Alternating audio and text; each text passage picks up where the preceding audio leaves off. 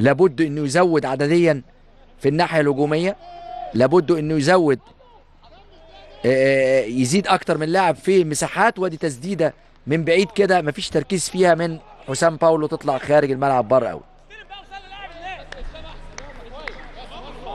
أهو بصوا الكورة بصوا حسام باولو خدها على الطار يا ولد حلوة والله. إنما التنفيذ يعني مش جيد. بصوا الكورة سابها كده تنط خدها تشيب كده على طول بجوار القائم.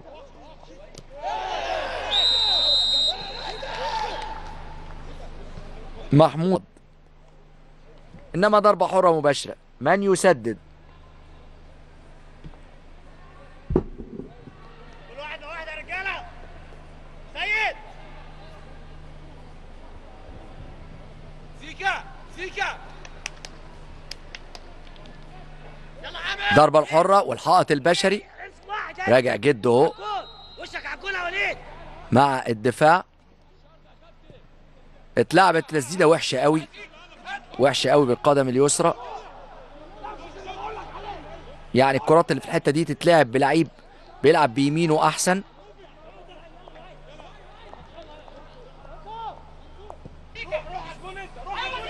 أصبحت النتيجة. شوف اللعبة دي الأول.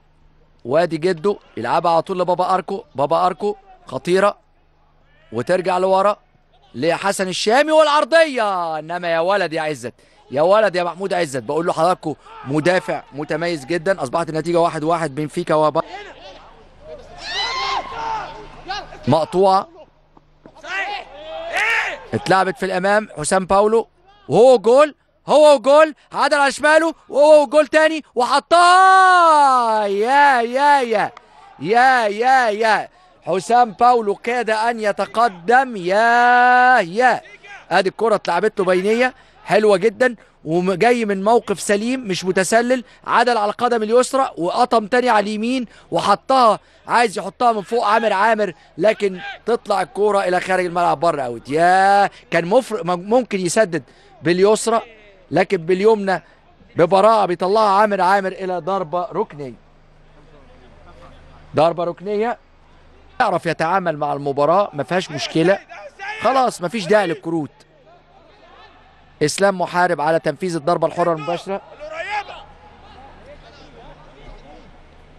واحد يلا عامر اتلعبت عرضية وخطرة إنما معدية تطلع بره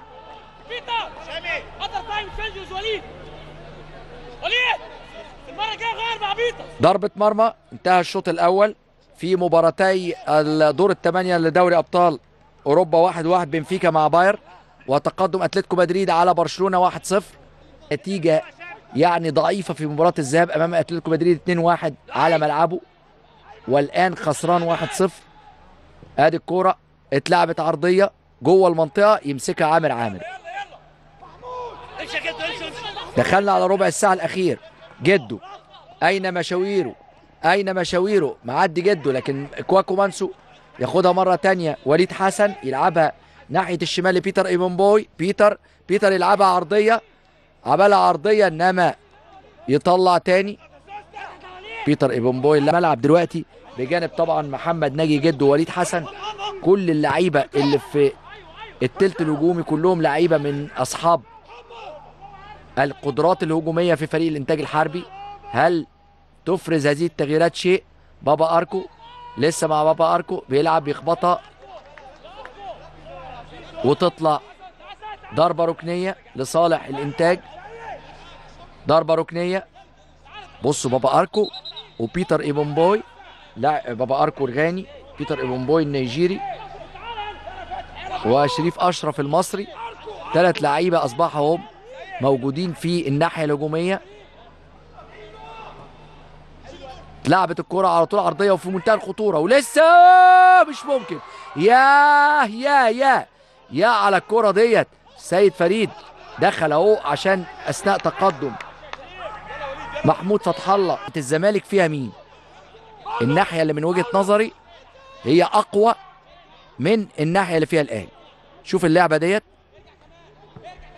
وليد حسن على تنفيذ الضربة الحرة. أكتر من لاعب جوه منطقة الجزاء من الفريقين وأدي ضربة رأسية عالية خارج الملعب اوت